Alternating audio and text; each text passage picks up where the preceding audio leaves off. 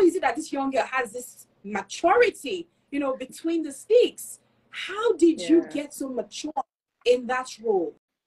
What do you think played, you know, made you so um so quick to adapt to the to the rigors of the senior team? Because it, it was unbelievable. In France, I was like, ah, ah now see this young girls. As they do like say, don't they? Don't they keep this?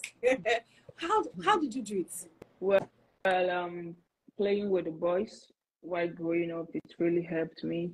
You know, it gave me a lot of confidence because uh, you know when you are playing with the boys, they don't want to know if you're a girl or not. Oh yeah, they hit you so hard, they will go hard on you. You know, so that really helped me. And again, um, thanks to my coach, Coach Latif Yusuf. You know, he's a he's a he's a very nice coach.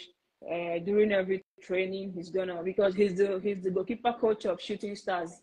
You know, he he he play, he trains with the men, so mm-hmm. he always tell us, ah, I no go pity you now. I no go training like girls, so you, you people have to be strong. You know, so I think that really helped me a lot. You know, yeah. So it made you tougher. It hardened yeah. you. It made you yeah. more and yeah. uh, that was the result of what we saw in France. Yeah.